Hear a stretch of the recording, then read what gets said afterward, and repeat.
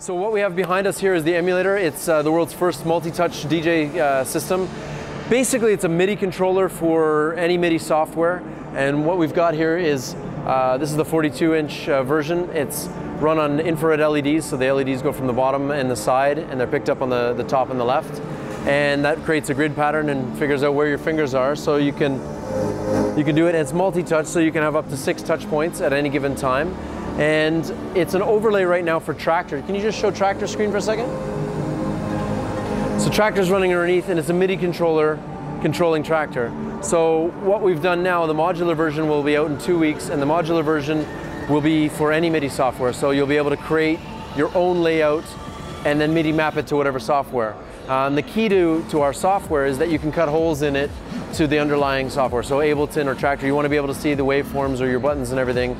You want to be able to still see the interaction underneath, but you want to be able to control it. So we got rid of all the things that you don't really need to touch, and that's where you can put your multi-touch uh, pieces. Um, the retro projection, the retro projection part of the screen is not really, you know, novel. It's novel in the use that we're, we're doing here, but you know, uh, retail stores have been doing retro projection for windows and things like that.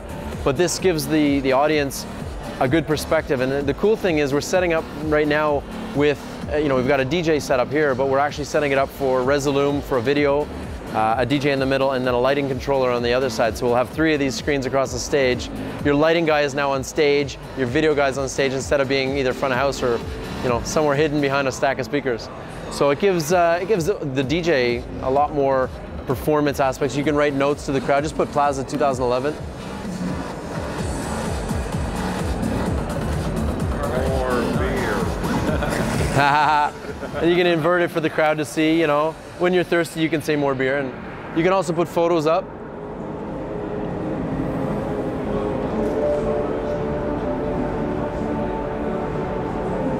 You can have photos come up on the screen.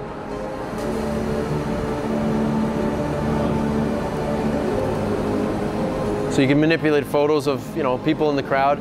You can also link this to the projector behind you, so you can the whole club or whatever can see what you're doing, which is kind of a nice feature.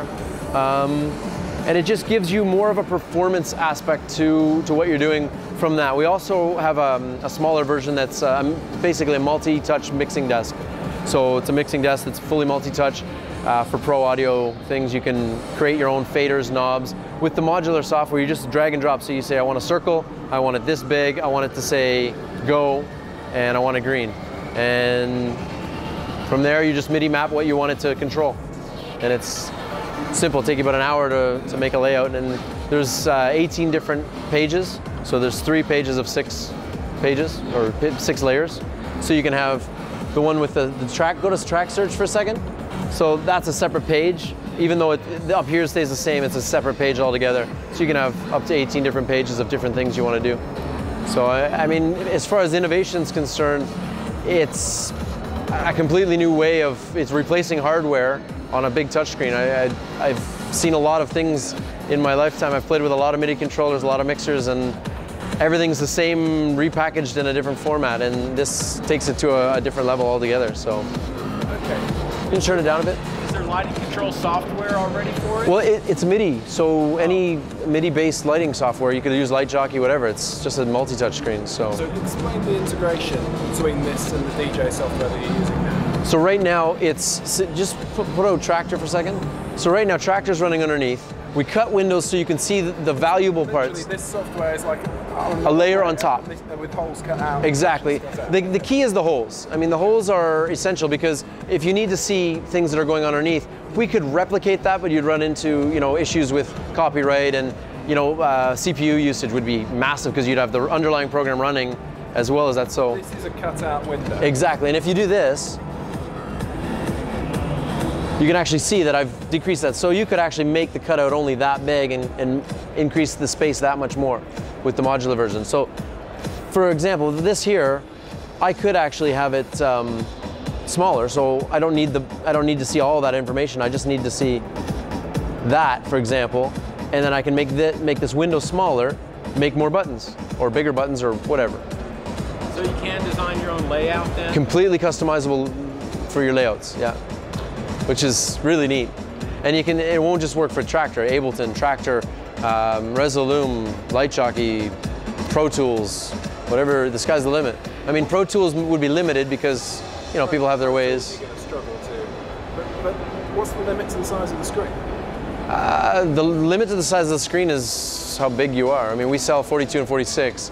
Uh, 46 is the, it's a stupid sizing because it's the biggest one that'll fit in the back of a taxi cab. I know from experience. Yeah, Couple two together, so they're running together.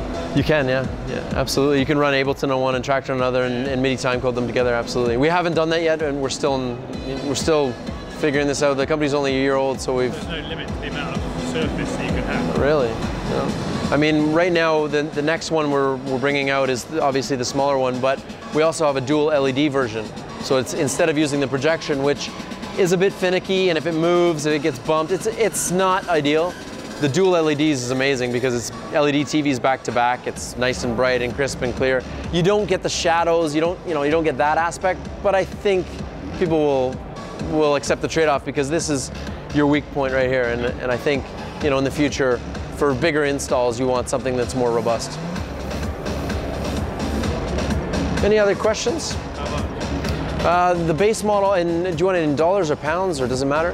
Uh, the base model, the 42 6 touch is uh, 5,500, and the 6, uh, 46 6 touch is 6,000, or just. What else do you need on top of that to integrate with the other? Uh, you would need the underlying software, so whatever software you want to use, Traktor, Ableton, whatever, you'd need to purchase that. You'd need a sound card and a computer. So it comes with the projector, the stand, and the screen, and the software. And the software, because we decided CDs are a little bit obsolete, our software comes like this.